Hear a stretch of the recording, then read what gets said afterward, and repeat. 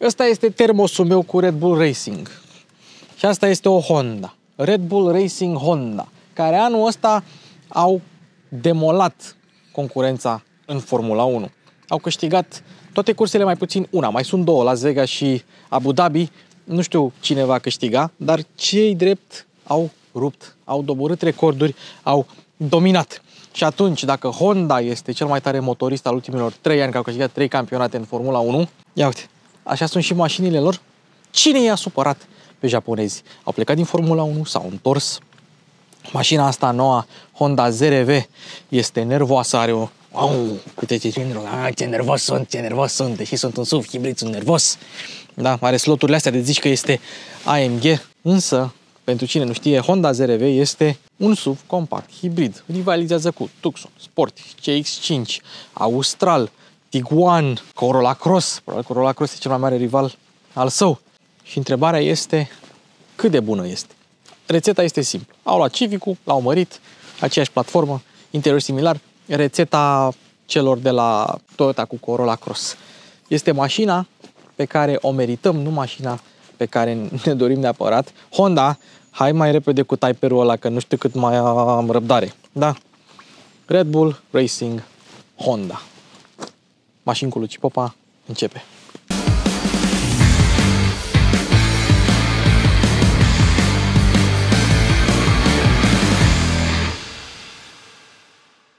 A, vrei să-ți iei mașină? O duci la mecanic, foarte bine, o duci la reprezentanță, și mai bine. O duci la prietenul tău care se pricepe la mașini, și mai bine. Dar ce se întâmplă dacă mașina e departe, hă, hă, în Germania sau în altă țară, sau e de la licitații? Simplu, încearcă un raport care vertical. Acolo poți afla dacă mașina are kilometri dați înapoi, dacă a avut daune mici sau mari, dacă a fost taxi, dacă a fost inundată sau de America. Din păcate, chiar și cu noul raport car vertical, nu poți vedea dacă s-a ascultat manele sau nu în mașină. Dar, dacă vrei, ai reducere 20% în descriere sau folosește cod Luci Popa. V-am pupat!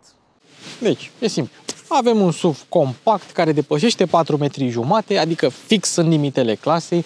Este construită pe o arhitectură de mașină compactă, adică Honda Civic, aceeași mecanică pe dedesubt, doar că e mai înaltă și un pic mai măricică. Pornește de la 43.400 de euro cu TVA inclus. Deci o iei pe la vreo 40.000 așa cu rabla și asta este versiunea de top. 46.600, deci o iei pe la 400.600 de euro cu TVA, inclus și Rabla, dacă alegi să o iei prin programul Rabla.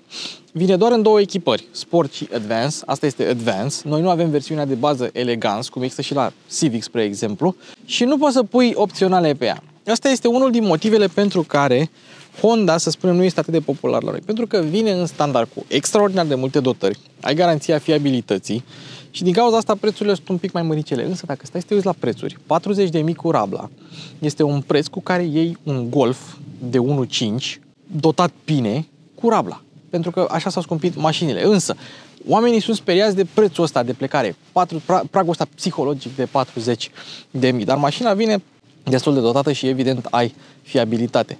Garanția mașinii e 3 ani 100 de mii de kilometri, însă, însă, pentru sistemul hibrid motor-baterie, și transmisie, primești garanție 10 ani fără limită de kilometri. Atât am vrut să aud. 10 ani fără limită de kilometri. N-a fost testată la noi, la Euro Cap, dar a fost testată la americani și a primit 5 stele pentru impact frontal, 5 stele pentru impact lateral, 5 stele, 5 stele, 5 stele, 5 stele, peste tot. Deci, pe scurt, asta este Honda ZRV. De ce se numește ZRV? HBRNM. Habar n-am. O să încep acum cu consumul. Deci consumul declarat de către Honda este 5,7 litri la 100 de km cu 57 rezervor, adică 1000 de km range. Însă eu am scos 5,5 mergând cu asta preponderent în oraș, am scos-o un pic în afară ca să ajung în pădure, dar am mers cu ea foarte, foarte mult în oraș, e foarte economică. De ce menționez consumul acum când trebuie să vorbim de faruri? Este pentru că mașina asta va sta cu motorul pornit pe toată perioada filmării, va mai porni motorul din când în când și atunci va crește consumul din bord. Va ajunge probabil la 5,7 sau ceva de genul. Dar am zis să vă spun de acum să nu vedeți un alt consum față de ce declar eu al mașinii. Pe versiunea Advance primești faruri inteligente, adaptive, cu fază lungă automată și cu lumină de cornering, pe când la sport nu primești. Însă, semnalizarea asta dinamică o să o primești peste tot și arată destul de drăguț semnalizarea asta dinamică. Aici este de fapt lumina de zi atunci când nu semnalizezi. Însă, îmi place că ai o dungă foarte lungă de semnalizare dinamică. Dacă te uiți din fața mașinii, arată mult mai bine decât arată decât văd eu de aici, din lateral. E destul de ok. Stopurile sunt lunguiețe așa. Apropo, mașina asta în America se numește HRV. HRV-ul la noi e mai mic, la ei a crescut și nu mai, ei nu mai primesc HRV-ul mic, ei primesc HRV-ul uh, ZRV. Revenind, semnalizările, în contrast, sunt mici față de semnalizările din față. În schimb, stopurile sunt lunguiate așa, avem marșarier, avem lumini de ceață, avem și reflector, avem și reflector de aici și cam astea sunt stopurile. O să-mi spuneți voi în comentarii cum vi se par farurile și stopurile la mașina asta. Evident, al treilea stop de frână este acolo în eleron. Cu o gardă la sol de 18 cm, mașina asta se încadrează în limitele glazei. Deci este fix acolo, pe mijloc, la toate categoriile mașina asta. 18 cm, mai încă 10 în plus ca să nu zgâri bara asta vopsită negru lucios. 28 de cm, la fel, este o valoare ok pentru clasa din care face parte mașina. Observăm că avem sloturile astea negre așa, dar ele se văd, e, am spus, e un pic nervoasă, e un pic Maserati, e un pic AMG. Grila nu este exagerată, chiar dacă mașina este nervoasă. Au pus emblema pe bară, n-au pus-o pe capotă și pe total nu prea ai ce să spui despre designul mașinii. Mai e o dungă așa care pleacă din capotă, se duce ușor pe bară ca să mai întărească imaginea asta de mașină agresivă și hai să vedem vopseaua, ce grosime are. Mulți se plâng la japoneze de grosimea vopselei, 0,15, exact ca la Land Rover. 0,15 e media din segment, deci exact pe mijloc. Nu e nici 0,10 ca să fie subțire, nu e nici 0,20 ca să fie groasă, e fix medie. Din bara mașinii pleacă un canal care transmite aerul în afara mașinii, însă este un canal mai mult de răcire decât aerodinamic, aș spune eu, pentru că aerul nu, este, nu circulă drept, nu poți să te uiți prin acel canal să vezi în față. El are un traseu prin care vine și cred că e mai mult pentru răcirea frânelor decât pentru aerodinamică. Poate să aibă și rol de aerodinamică, posibil să mă înșel eu, doar că atunci când are și aerul pe aici, are și un pic turbulent, nu vine drept așa cum ar trebui să fie, nu e flowy. Avem pâslă aici în contraaripă pentru antifonare, jantele sunt pe 18, nimic exagerat din punctul ăsta de vedere și dacă e să mă întreb pe mine, cu cât mai mică janta, cu atât mai bine și cu cât e anvelopa mai groasă, cu atât mai bine, pentru că am văzut și suvuri care au anvelope mai subțiri decât ar trebui, 225-55 pe 18 dimensiunea pentru toate versiunile de Honda ZRV. Aici sunt vopsite în două culori, McPherson pe față, independente pe spate, discuri ventilate pe față, discuri fixe pe spate, din nou ceva normal pentru această clasă, nimic exagerat. Un lucru plăcut la mașina asta este faptul că ai viuzele de spălător integrate în ștergătoare. Bine, sunt integrate aici, mai simplu, așa, dar totuși sunt integrate, ceea ce înseamnă că nu mai trebuie să mai spoiești tot parbrizul și faci o oarecare economie de lichid de parbriz. La ce preț a ajuns lichidul de parbriz în ziua de astăzi? E la drumul mare. Însă, nu deschideți ștergătorul pentru că o să loviți vopseaua. Da? Deci dacă vrei să ridici uh, ștergătoarele unui proprietar de ZRV, nu o faci. Gândește-te și tu.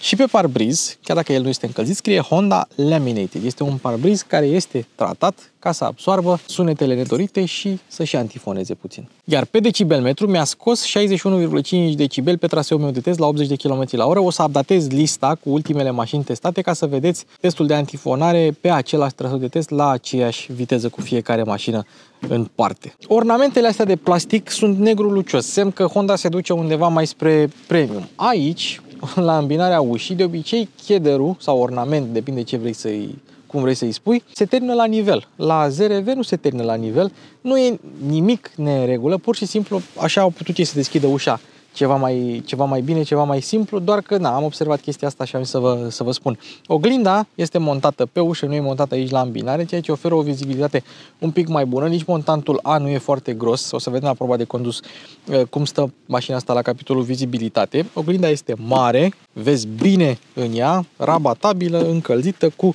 semnalizator aici, cu blind spot, cu de toate. Dar îmi place că este o oglindă mare. Aceasta este cheia de Honda. Cheia mică cu greutate scrie 1 pe ea pentru că este cheia principală. Dacă o întorci, observi că are butoanele pentru încuiere, descuiere și porbagaj și acolo în spate ai două chestii. Unul este butonul pentru cheia fizică, o scoți frumos așa și tot acolo se află și locul pentru breloc, dar observăm aici butonul pentru deschidere. Ce îmi place mie la cheia asta de Honda este că e mică, ușoară, cu greutate, intră frumos în buzunarul la mic de la blugii bărbaților. E una din cheile mele preferate.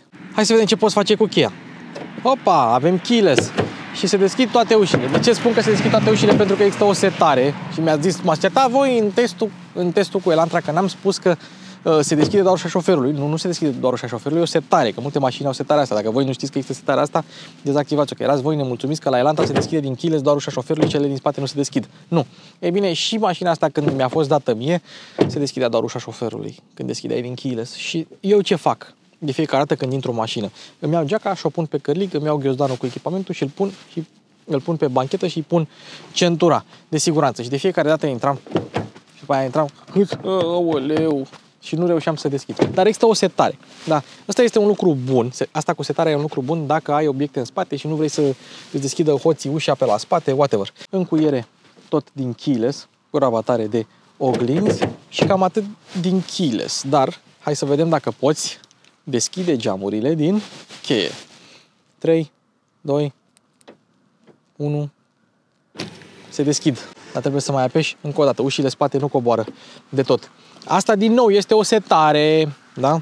pe care o poți uh, selecta din meniul sistemului de infotainment. Dacă vrem să închidem, ia să vedem, să că nu se întâmplă nimic. Dacă facem așa, apăsăm o dată, se închid. O să opresc aici pentru că vreau să văd dacă se închid uși, geamurile din keyless. Închidem, închidem și mai apăsăm o dată. Ce mă amuză e că la mașina asta, atunci când închizi, semnalizează de trei ori, nu de două ori. Deci nu, nu se pot închide geamurile din, din keyless. Asta pentru că setarea este, se numește operarea geamurilor de la distanță. Și dacă tu ești lângă mașină, atunci ce Dumnezeu de distanță mai e și asta. Apropo, încă un lucru, este un SUV, dar este un SUV făcut pe platforma lui Civic și, atenție, bine, noi am spus la mașina, dar pragul, ușile nu acoperă toate pragurile, semn că există un mini risc să te mai și murdărești atunci când intri în mașinuță. Nu îl am pe Nelu Ciocănelu cu mine astăzi, din păcate, l-am uitat acasă. Hai, îmi pare rău. Și nouă o să, fie, o să ne fie dor de el, ce înseamnă că materialele o să le testăm astăzi cu capul. Moale, nu, glumesc, era o glumă. Moale, moale, moale, moale și aici material tare, dar are niște protuberanțe orizontale făcute să, nu știu, să arate mai bine. O chestie de design, dar măcar s-au chinuit. În schimb, buzunarele, asemenea multor mașini asiatice, sunt mai micuțe și decupate, ca să poți să pui tu lucrurile ce te interesează cu adevărat, doar că nu niște obiecte foarte mari. Memoria la scaun, oglinzi și geamuri, încuiere dacă vrei să încui sau să descui manual, asta este o, o tradiție, asta este o tradiție japoneză, dar la capitolul materiale Honda ZRV stă bine. Cel puțin pe fețele de uși stă un pic mai bine decât media clase. Un lucru bun este că avem impuls la toate cele patru geamurile, având impuls ar trebui să avem și protecție. Hai să vedem și în spate. 3, 2, 1, avem și în spate. Foarte bine. Bravo, Honda! O sole mio. Hai să vedem ușa pe spate. O, material moale, asemenea, în față, moale, moale. Aici la butoane, evident că nu avem. Aici, spre deosebire de în față, avem și buzunărel, pentru că buzunărelul de jos este din nou mai micuț. Aoleu, ce tărăboi dai în unul țipă doi. Da, nu știu de ce japonezii fac buzunarele astea mai mici, noi, românii, avem multe obiecte, că avem foarte mulți bani și atunci nu avem unde să le punem. Și chiar dacă ai cheie fizică, ce ai locul este pe buton aici, pe țâmburuș, așa cum regăsești la multe mașini asiatice, nu doar de la Honda.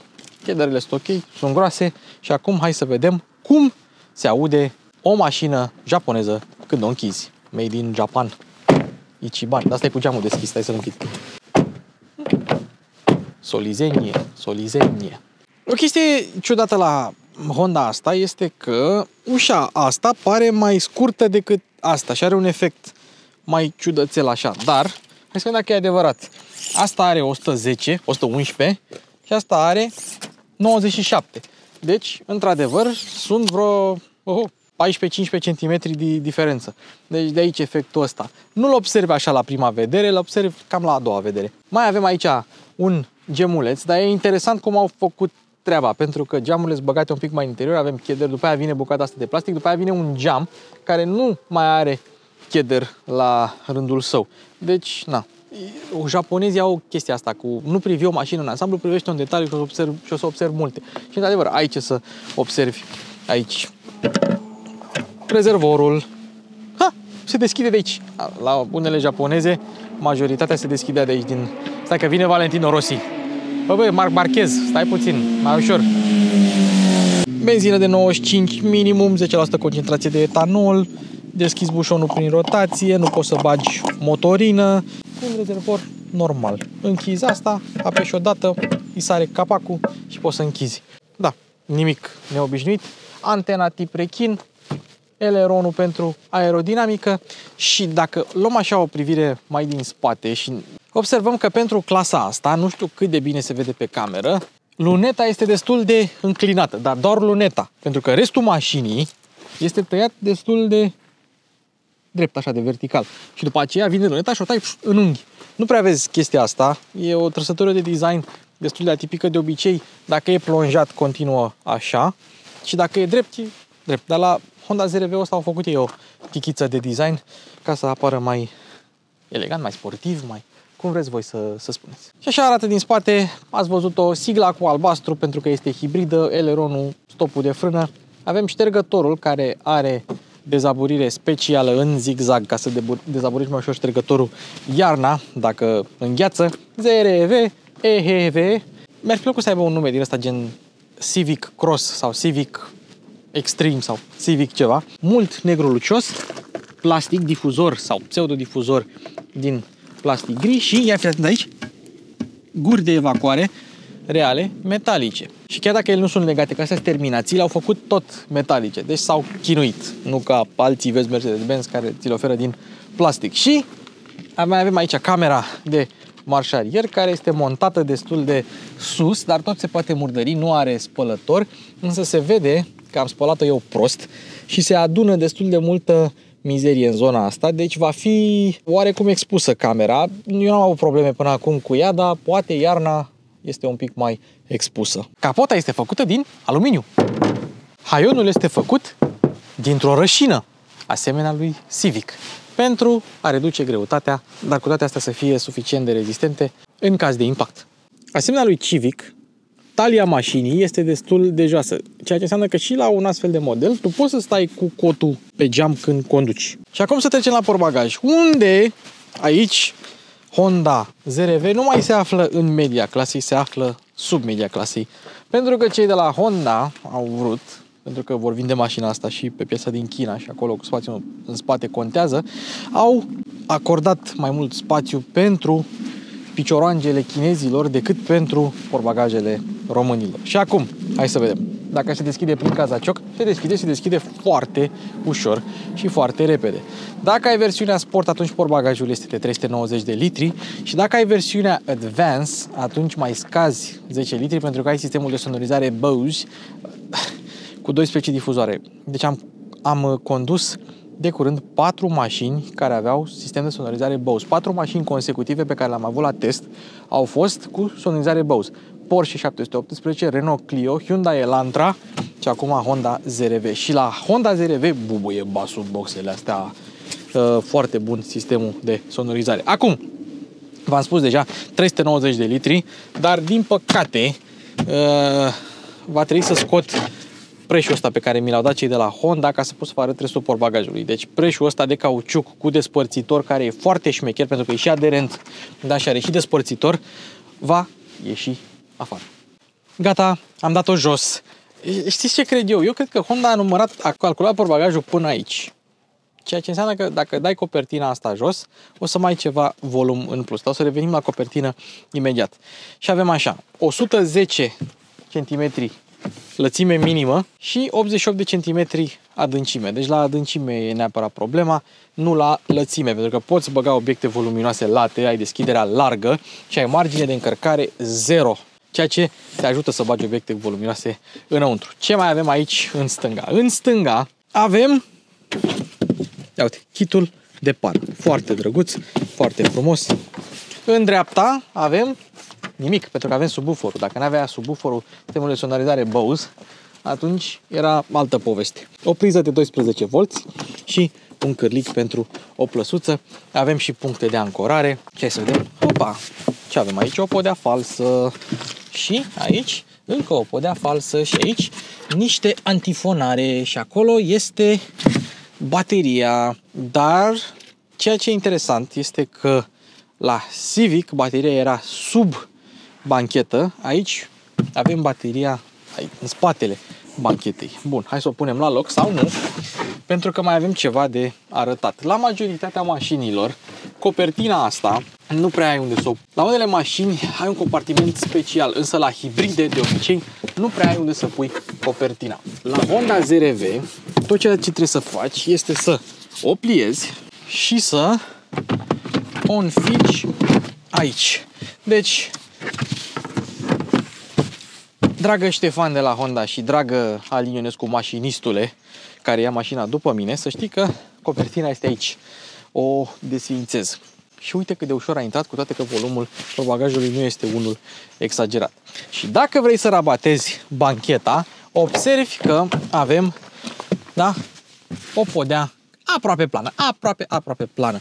Bancheta e destul de greuță. Mi-ar fi plăcut să aibă, să aibă pătar reglabil, însă centura nu-ți va fi prinsă pentru că are locul ei dedicat aici frumos. Un lucru interesant este că au pus aici multă piele, astfel încât să nu simți că dai în plastic cum dai la Volkswagen Arteon. Nu. Și îmi place chestia asta. S-au chinuit. Asta este un detaliu care costă, niște, costă pe producător niște bani, dar a ales să uh, îl implementeze de dragul clienților. Pentru că nici centura nu va mai flencăni toată ziua. Știi? Flencăni aici, jos. Da, că aici e plastic, aici n-ai ce să faci, că trebuie să pui plastic. Dar în zona asta nu se va mai mișca centura. Și atunci când rabatezi bancheta și șezutul, se mișcă, se dă un pic în față, astfel încât tu când pliezi bancheta, ea să se plieze destul de ușor. Iar mocheta de la portbagaj este și ea de calitate.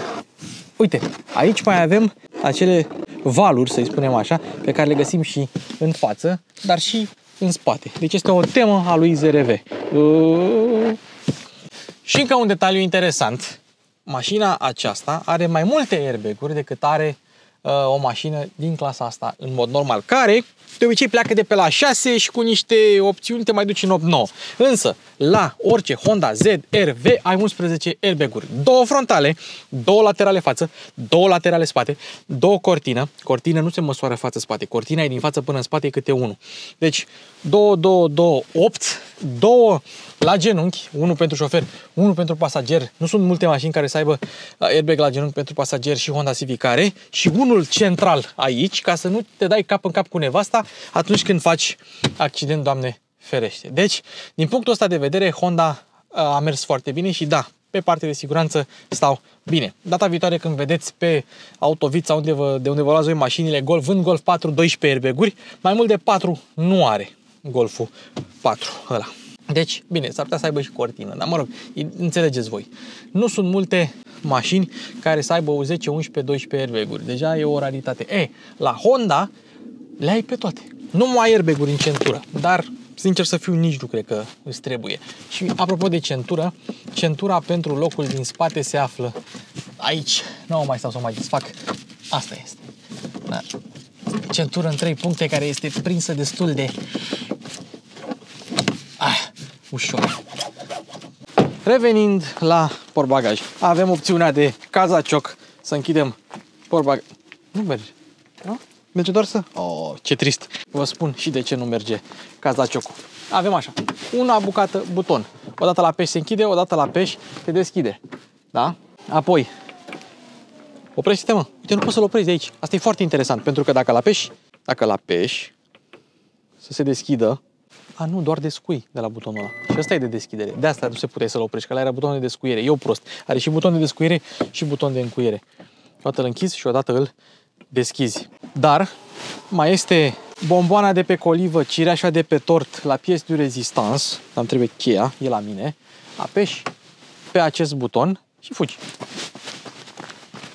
Și mașina simte că tu ai plecat, dacă tu ai obiecte voluminoase și nu mai stai să mai închizi tu portbagajul, în momentul în care ai plecat de lângă mașină, se încuie mașina și se închide portbagajul. Deschidem capota, avem băți, nu avem amortizor, dar avem antifonare și avem și un traseu pentru admisie care este în capotă, pentru că aerul vine de aici prin grilă, urcă și se duce în admisie. Ce e interesant este că dacă ai capota deschisă, motorul pe benzină va porni un pic mai des decât va porni atunci când mașina este oprită ca să știi că ai motorul pornit. La unele hibride pornește și rămâne pornit, dar văd că la asta mai pornește, se mai oprește, mai pornește, se mai oprește. Bateria de 12 V este de la Camel Group, made in China. Bă, da, știi ce cred eu? Eu cred că asta nu e a noastră, a noastră nu e de Japonia. Cred. Pentru că are serie de șasiu care începe cu L, care e de China. Bateria e de China. Eu cred că noi primim ZRV-ul făcut în China, mă. Acum m-am prins. Motorul pe care îl primești este același precum la Honda Civic, adică aceeași combinație 2.0 benzină pe post de generator în mare parte, un motor electric care este motorul dominant, că e mai puternic decât cel termic, și o transmisie care nu este CVT.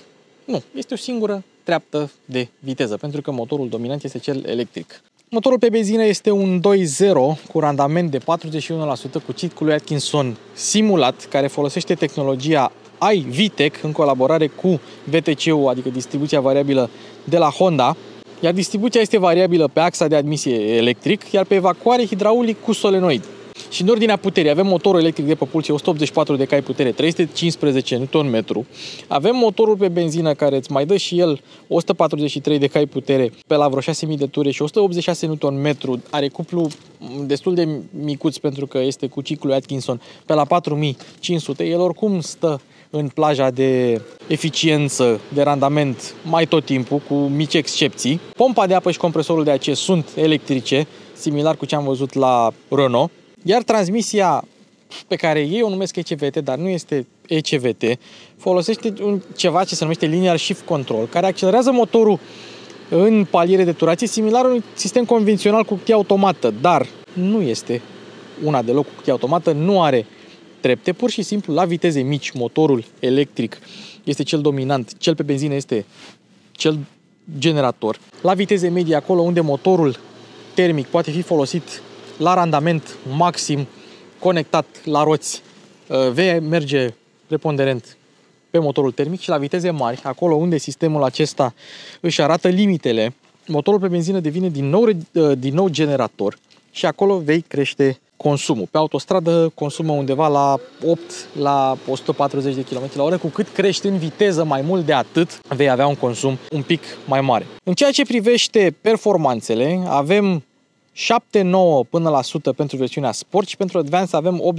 8, 8 secunde până la 100. Viteza maximă este 173 de km la oră. Viteza maximă este de 173 de km la oră, pentru că asta poate să ducă motorul electric. De asta nu avem o viteză mai mare, deși puterea totală este destul de măricică. Însă, pentru că răspunde și folosește motorul electric principal, răspunsul la pedală este unul foarte bun. Ce e interesant este că aceste performanțe nu sunt departe de ceea ce găsești pe Honda Civic, pentru că ZRV-ul nu este cu mult mai grea decât un Civic. Echipată similar, diferența e undeva la 30 de kg, ceea ce pentru un SUV față de o, un hatchback compact e foarte bine. Deci, bravo! Deci nu e lentă, chiar nu este, că pleacă pe electric. Și nu este nici grea, 1640 de kg, pentru uita mai SUV hibrid, chit că nu are tracțiune integrală, e destul de bine. Pe alte piețe, unde există și versiunea non-hibridă, adică benzină, poți avea și tracțiune integrală. Începem cu poziția la volan și cu scaunul. Scaunul este electric, are două memorii, este parțial din piele naturală, parțial din piele ecologică, avem și cusături, destul de ergonomic, cu susținere laterală decentă, nu avem însă suport lombar. Cei de la Honda s-au gândit că știu ei mai bine și, de adevăr, mie nu-mi trebuie, că tot timpul îl dau pe minim, dar poziția la volan este în general bună. La scaun ai și sistem din acela de Easy Entry, Easy Access, să-l reglezi de aici din sistemul de infotainment. Per total, la scaun n-am de ce să mă plâng. Poziția la volan este destul de înaltă, la Civic era destul de uh, joasă. E, e ok. Scaunele sunt similare, dacă nu chiar identice. Iar tetiera se reglează în mod manual. Acesta este volănașul, care are reglaj pe înălțime, are reglaj pe adâncime, un reglaj destul de larg și dacă îl ridici, el nu cade așa cum se întâmplă să cadă la alte mașini. Se reglează manual, după cum am arătat deja, este subțire cu decupaje și padelele sunt aproape exact cum ar trebui să fie, deși padelele nu schimbă nicio treaptă, sunt padele pentru regenerare și pentru frână de motor. Dar fiți atenți aici, sunt metalice și au un click foarte satisfăcător. Sunt multe mașini sport care nu au un asemenea volan. Vezi, nu știu, multe BMW-uri de peste 300 de cai care au padele din plastic și care n-au volan atât de bine conturat, rotund, nu e teșit, butoanele de pe volan au super click, rotițele, la fel totul se simte de calitate și ai volanul încălzit aici jos. Deci volanul ăsta de la Honda e unul dintre cele mai bune din industrie, iar manetele au și ele un click destul de satisfăcător. Buzunarele le-ați văzut, mai avem aici un spațiu de depozitare în care poți să pui cheia sau mici obiecte. Avem wireless charging, două suporturi de pahare fixe și necapitonate, un spațiu mic de depozitare acolo și o cotieră care se ridică singură și este destul de încăpătoare, dar este de data aceasta capitonată. Avem și torpedoul care este amortizat, neiluminat, necapitonat și de dimensiuni medii și mai avem aici un suport pentru ochelarii de soare. Hai să vorbim despre ergonomie acum. Avem așa, comenzi, oglinzi și geamuri, le-am arătat deja, memorie și încuiere, nicio treabă, SPO, portbagaj, aici nimic de comentat momentan avem cele două manete cu toate funcțiile pe care le înveți repede dacă, le, dacă mergi cu mașina de câteva ori. Pe volan butoanele sunt exact unde ar trebui să fie pilot automat, sisteme de asistență. Aici ai butoanele pentru volum și aici fiecare ecran din tabloul de bord are propria sa rotiță și poți uh, regla totul prin apăsare sau prin rotire de aici. Uite ce bine se simte. Bun, trecem la sistemul de infotainment, o să-l arătăm mai încolo, dar ai butoane fizice, nimic de comentat aici, climatizarea. Seamănă foarte mult această bandă cu cea de la Civic, însă dacă țineți minte, la Civic ai niște joystick-uri, o țâță de mâță la fiecare uh, gură de ventilație, care, dacă mă întrebați pe mine, era un pic mai utilă, dar dacă vedeți un interior și nu știți dacă este de Civic sau de ZRV, așa vă dați seama. Climatizarea fizică, butoane mari, nu ai nici o problemă cu această climatizare, este exact cum ar trebui să fie. Climatizare dublă cu sincronizare cu tot. Priză de 12, wireless charger dacă vrei, selectorul transmisiei, doar versiunile pe benzină au shifter tradițional, PRND, modurile de rulare, care se aude așa când ne schimbi, că e Nokia, butoane. Sport, normal, Eco și Snow. Dacă o dai pe Sport, ai Active Sound Control și motorul bagă sunet în boxe ca să fie ceva mai sportiv. Ok. Front de parcare electrică, Hill Descent Control, uh, Brake Hold, un USB aici, un USB-C aici pentru încărcare. Ai butoanele de lumini în uh, zona asta, inclusiv butonul de SOS. Hai să deschidem și copertina de la trapă și avem un plafon panoramic cu tot cu deschidere. Deci, cam așa se deschide. Hai să nu închidem că este răcoare. Avem aici un uh, buzunar pentru actele mașinii, ce acte vrei tu și un parasolar cu lumină și oglindă și ai și oglinda aici, am lovit camera, nu e nicio problemă, oglindă electrocromă pe care o poți uh, activa sau dezactiva de aici.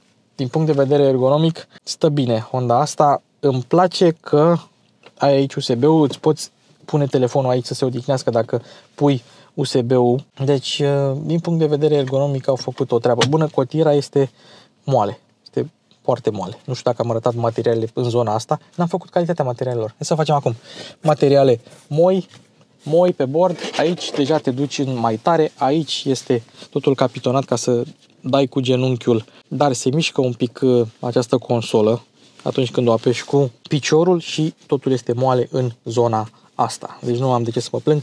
Nelu Ciocănelu astăzi a luat pauză, ne-a părăsit. Acesta este head-up display-ul. Știu că acum nu, ar, nu apare nimic pe el, dar uite, ai viteză, navigație sau sisteme de asistență. Momentan sunt oprite, dar când uh, ai sistemele de asistență pornite, îți apare acolo în bord. Tot acolo vei avea și avertizorul de coliziune. În momentul în care te apropii prea mult de o mașină și mașina vrea să nu te apropii așa de mult de ea, îți face un flash în head-up display. Poți seta înălțimea și poți seta luminozitatea. Acesta este tabloul de bord și acum hai să ieșim din el să arătăm cam cum arată în mod normal. Ai procentajul puterii acolo și încărcare, baterie în stânga, benzină în dreapta, kilometraj se vede 777 de kilometri și acolo în centru sistemele de asistență. Ai și frână, semnalizare, flash, dacă dai... Fun fact la mașina asta, dacă ești pe poziții sau pe auto sau cu farurile stinse, când dai flash, dai flash doar cu fază lungă, nu se aprinde faza scurtă a mașinii. Faza scurtă a mașinii completează faza lungă doar atunci când ai faza scurtă activată. Acum hai să ne uităm un pic prin uh, meniu. În stânga ai media, Apple CarPlay, Customize Display dacă vrei să pui chestia asta, audio, clock, whatever. Dacă vrei tu să pui, uite, vezi? Ce vrei tu să uh, treci prin uh, listă pe acolo. Continuăm cu telefon, radio, radio digital, radio AM, USB, Bluetooth, CarPlay. În general, aici vei vedea media. În dreapta, de la rotița din dreapta, head-up display, instrument display settings, spre exemplu, gauge design. Poți să schimbi designul să fie bar în loc de round, pardon, bar în loc de round. Uh, nice. Round cu cruise, adică în momentul în care ai cruise controlul vor dispărea și bar cu cruise, în momentul în care ai cruise controlul vor dispărea acele bare. Rămânem pe round, ca așa îmi plac mie. Fluxul de energie, consumul, v-am spus eu că a crescut consumul la 6, că stă mașina de 3-4 ore pornită. Viteză medie, dar evident stă de 3-4 ore pornită, a scăzut viteza. Navigație, avertizori de depășire a vitezei dar sunt oprite. Atenția șoferului, centru de siguranță, mentenanță, safety support, no content dacă vrei sau dacă vrei să schimbi pe mile și pe kilometri, brightness-ul dacă vrei îl setezi de la rotiță și totul se face dintr-o singură rotiță. Eu am, las, eu am lăsat consumul, care e cel mai util. Și acesta este sistemul de infotainment cu scurtături home, back și uh, rotiță pentru volum. Știm că la Honda Civic, generația trecută, s-au plâns mulți uh, clienți că n-au aveau rotiță. Buton pentru next și previous song și acestea sunt scurtăturile fizice și ai un click satisfăcător. Îmi place acest clip. Sursa audio, ți arată aici, arată aici stare sistem și la ce ești conectat. Sursa audio dacă vrei să schimbi, ceas, adică poți să apeși pe orice, dacă vrei un ceas, îl ai frumos aici. Navigație, pentru cine vrea navigație, dar toată lumea va folosi Apple CarPlay, Android Auto, FM, Bluetooth, radio, DAB și mod de noapte, mod de afișare. Zi, noapte și așa mai departe. Afișaj oprit, luminozitate și așa mai departe pe care îl poți, dacă dai pe Home, o să revină. Toate aplicațiile. Ei, toate aplicațiile aici le aveți. Da? Poți merge în scurtături sau poți să le ai pe toate listă dacă ți este mai ușor. Dăm înapoi la Home, navigație, telefon, FM, Bluetooth Radio, Apple CarPlay, o să revenim la el, fluxul de energie, da, asta este consumul de când am pornit motorul pe drumul curent. Setări generale, adică limbă și alte asemenea, cameră, control vocal. Hai să arătăm și camera de marșarier dacă tot suntem în punctul ăsta. Așa este pe noapte cu luminozitatea la cameră și așa vezi mai de ansamblu. Adică vezi ca și când ai vedea de sus. Nu avem camere 360 pe mașina asta. În Australia, spre exemplu, poți avea așa ceva. Setările importante sunt setările vehiculului, pentru că ai configurare sistemele de asistență multe, multe. Honda Safety Sense, cred, cred că se numește suita de sisteme de asistență. Ai toate setările aici. Configurare tablou de bord și head-up display, dacă vrei să le vezi de aici, să nu umbli de pe rotițe, ceea ce e foarte ok. Configurarea poziției de conducere, configurarea acces din cheie, configurarea iluminare, fascicul adaptiv și așa mai departe. Deci, acestea sunt setările importante. Configurație ușă geam, vedeți aici toate setările, configurație Hion electric, deschidere automată de la mâner, mod de deschidere fără cheie oricând și așa mai departe. Și hands-free-ul, ce v-am arătat mai devreme. Asistență ecopredictivă, adică să vă spună mașina cum ar trebui să conduceți, eu am dezactivat-o, că știu să conduc mai economic decât mașina, memento pentru uh, verificarea nivelului uleiului, asta e interesant, și informații cu privire la întreținere. Deci un an de zile, că mașina asta e înmatriculată de vreo două săptămâni, deci astea sunt zilele. Apoi, computerul de bord, ruta A, ruta B, asta este media, cursă curentă, am văzut și 37 pe cursă curentă, la un moment dat în oraș, consumă foarte puțin în oraș, USB, AM, DAB, actualizări sistem, Wi-Fi, hotspot, ceas, mesaj, mod afișare, manual de utilizare. Este un sistem de infotainment simplu, cu iconițe mari, cu Apple CarPlay, Android Auto, care merge foarte bine și este full screen. Deci, nicio problemă din acest punct de vedere și după cum am spus și mai devreme, sistemul audio se aude demențial, recomand. Bun, am ajuns în spate. Primul lucru, spațiul. Scaunul față este dat la maximum în spate. Uite cât loc ai aici. De asta au renunțat la portbagaj ca să-ți dea spațiu de șeptar, pentru că dacă îmi pun eu memoria pe 2, ia fiți atenți aici, fiți atenți aici. Bine, până se pune memoria, hai să vedem și spațiul la cap. Avem doi pumni la spațiu pentru cap și spătarul este reglat în spate. Adică spătarul este dat pe spate, nu ai ai mai, mai multe poziții pentru banchetă, dar el este lăsat pe spate și poți să stai destul de relaxat. Uite, uite de aici. Asta e poziția mea la volan. Uite cât spațiu am aici. Na, uitați-vă cât spațiu am aici. Honda ZRV chiar e spațioasă în spate, chiar fără mișto. Bun, pe banchetă stai bine, stai destul de confortabil. Bancheta e destul de joasă, să-i spunem așa, adică na, stai un pic cu genunchii ridicați, dar având în vedere cât spațiu ai aici în spate, te poți relaxa foarte bine și nu mai stai cu genunchii la urechi. Ai banchetă încălzită. Ura! Doar pe varianta Advanced, pe Sport n-ai. Da? La fel cum tabloul de bord este parțial digital Sport și nu ai Bose pe Sport. Pentru asta plătești. Și tapiseria este parțial din piele la Sport, nu este full piele. Deci cam acestea sunt principalele diferențe față de, față de Advanced. Farurile, da? că sunt adaptive, piele, banchetă încălzită, volan încălzit și cam atât. Cam cred că astea sunt. Ai, dita mai buzunarele aici, foarte mari. Buzunarele astea le-ați văzut, mâner, cârlig, guri de ventilație, USB-C-uri cu încărcare rapidă, ISO-fixuri pentru scaunele de copii.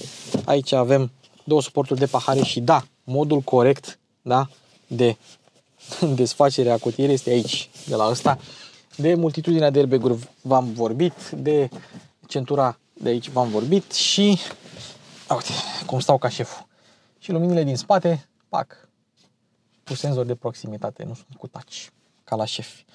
E interesant pentru că n-au pus camere 360, dar au pus banchetă încălzită în spate. Dintre astea două dotări, voi pe care ați alege-o? Dacă ar fi să alegeți una singură, pe care ați alege-o? Eu aș alege banchetă. Hai să mergem la condus. Direcția nu e mega ușoară atunci când mergi la viteze mici. Adică e ok. Nu e nici prea dură, dar nici prea, nici prea moale. Oricum poziția la volan e bună. Vizibilitatea e ok, montatul ăsta nu e prea gros, așa cum am spus și la început. Oglinzile sunt mari, în spate vezi bine. Uite-o pe Rox în spate. Bună, Rox!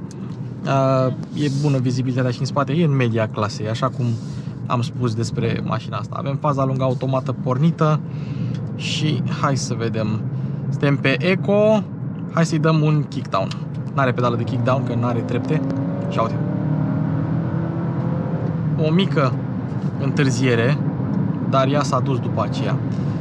Pe modul ăsta Econ, pedala într-adevăr e puțin mai rigidă, dar te ajută foarte mult să obții un consum de carburant bun. Poziția la volan e înaltă, nu ai ce să, nu prea ai ce să-i reproșezi așa. Uh, ce vreau să facem acum este să testăm sistemul acela în care mașina pare că schimbă viteza. Și culmea, îți arată între 75 și 100% procentaj aici. Uh, cum scade, deși tu îi dai blană în continuare scade un pic turația motorului, ia să vedem. Deci 100%, ia, fiți atenți cu mine aici. Stai puțin, că nu, nu văd în față că era mașină. Deci blană, ia. Și fiți atenți. Dar ajunge la 100%, pare că schimbă Bă, dar deja ajungem la o viteză destul de interesantă. Are reprize, are... Nu e o mașină lentă deloc. Pentru că, după cum am spus, accelerează pe electric. Anvelopele sunt de iarnă la mașinuța asta. Pedala de frână. Simți că are un pic de regenerare și după aceea intră pedala de frână tradițională. Intră frâna tradițională, dar e bine gândită. Acum, padelele acestea.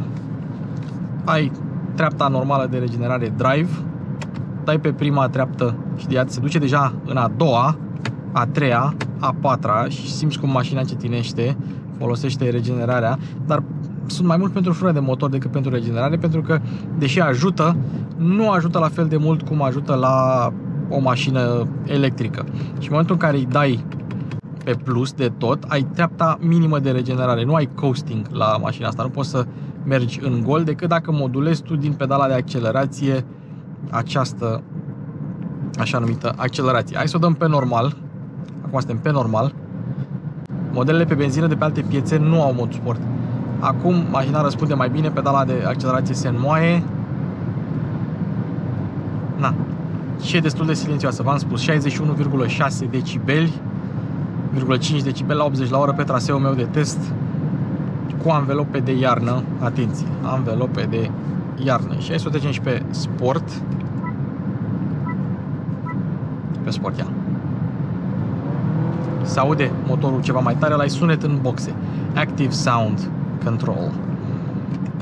Semnalizăm, faza lungă automat a pornit.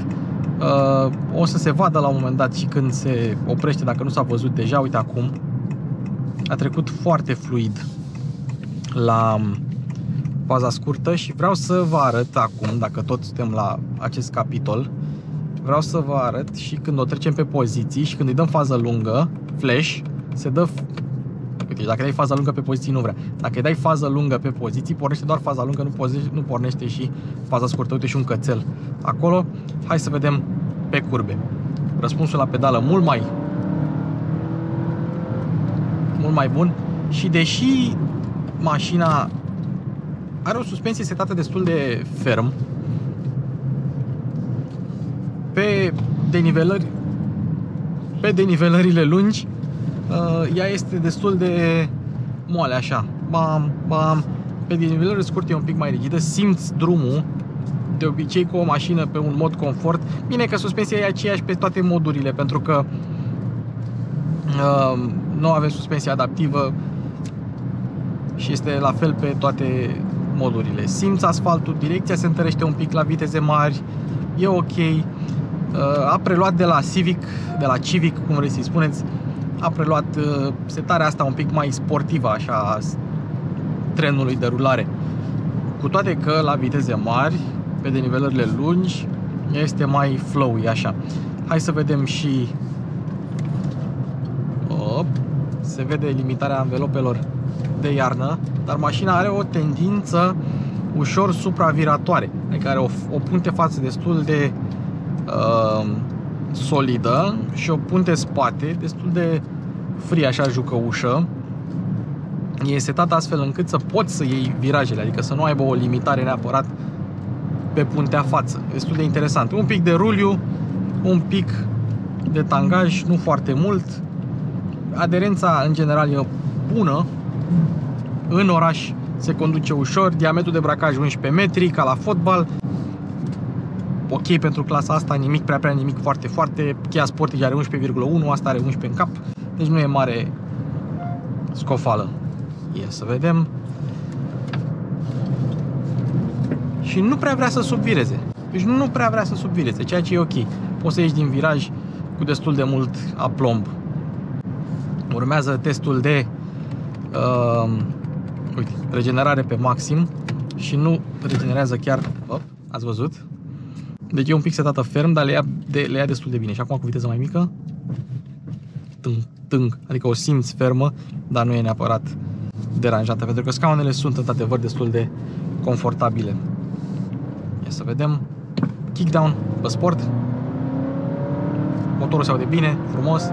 Mașina accelerează, adică nu vei avea nicio problemă și observăm cum crește turația motorului, nu avem efectul ăla de elastic, așa când coturezi și crește turația. Da?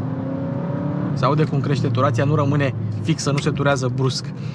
Au făcut-o astfel încât uh, mașina poate să furnizeze tot curentul electric pe care îl are nevoie bateria și implicit motorul electric uh, și să îl turezi progresiv, să nu se adă cum auzi la alte sisteme ECVT. Deci asta nu are nicio treabă cu un ECVT și nu are nicio treabă cu un CVT, cu toate că se numește așa.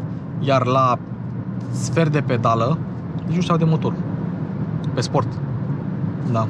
Și totuși crești în viteză, crești în, în viteză. Cam asta este. Da. Frânarea e destul de sigură, țineți-vă bine toți trei pasagerii. da, pornesc avariile, n-am, n-am dat talpă frână, n-am dat frânare de urgență, că mai avem obiecte prin mașină, dar mașina e stabilă pe frânare, se ridică un pic spatele când frânezi, dar totul e țavă, drept, n-ai nicio problemă.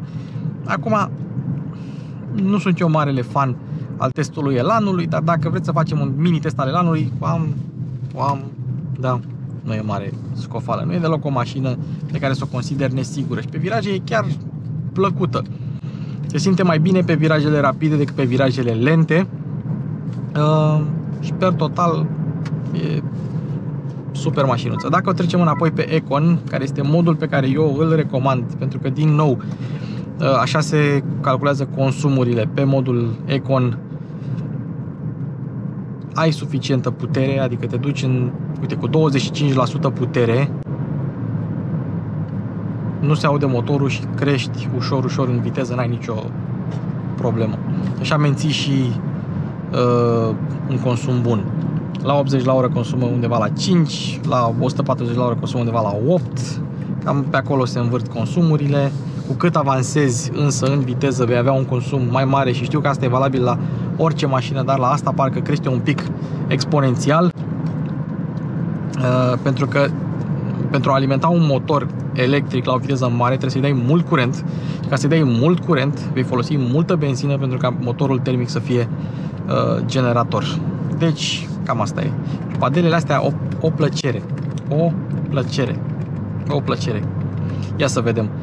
Diferența între regenerare treapta 1 și regenerare treapta maximă o simți, dar nu poți să spui că viteza este de la cer la pământ. O, o mașină care se conduce exact cum scrie pe etichetă, adică un Civic mai înălțat, cu performanțe similare în linie dreaptă, dar se conduce aproape. E unul dintre cele mai sportive SUV-uri de, din acest gen. Ruliul e mai mic decât la alte modele. Dau un exemplu Hyundai Tucson. Și de asta rivalizează cu Tucsonul uh, full hibrid cu tracțiune față. Hai să punem pe pilot adaptiv, am pus distanța cea mai mare, am pus să mențină singură banda, îți arată mașina din față, îți arată dacă trece o mașină pe lângă tine, îți arată unde este banda, îți arată mașina pe care o urmărește, mașina pe care nu o urmărește, a venit o ambulanță, a frânat, am frânat și noi, având distanța cea mai mare, frânarea este cea mai fluidă, pe distanța cea mai mică frânarea nu este cea mai fluidă. Hai să vedem acum cât timp ne ia până ne zice să punem mâna pe volan, este rezistiv, nu este capacitiv. Deci eu acum pun mâna pe volan, dar încă îmi zice să pun mâna pe volan, deși eu am mâna pe volan și să vedem ce se întâmplă când se dezactivează. La Honda, uite, frânează. S-a dezactivat, s-a dezactivat, dar banda încă o ține, ia. Banda încă o ține. Ei, la alte modele nu mai ține banda. Aici încă ține banda, deși încetinește. Și dacă dai resume, pornește la loc, chiar dacă tu n-ai pus mâna pe volan, cum se întâmplă la Hyundai Kia. Dar încă zice și acum zice mai repede să pui mâna pe volan decât îți zicea înainte. Dar oricum la cea mai mică la cea mai mică uh, contrapresiune pe volan tace din gură. Asta e un lucru. E un sistem bun, un sistem modern, cum găsești la multe mașini. Îmi place că este fluid așa, nu te bruschează cam în nicio situație. Ia și viraje dacă e nevoie, le face pe toate.